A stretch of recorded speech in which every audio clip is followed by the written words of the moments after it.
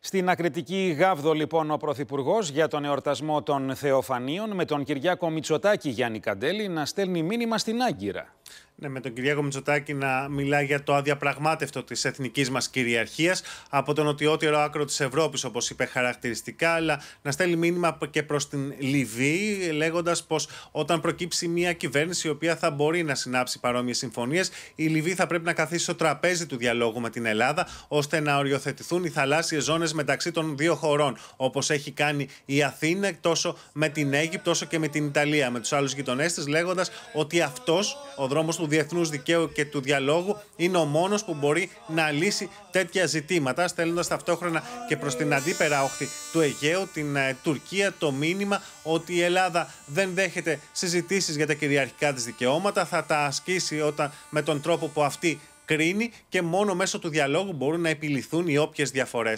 Σε ευχαριστούμε πολύ, Γιάννη Καντέλη.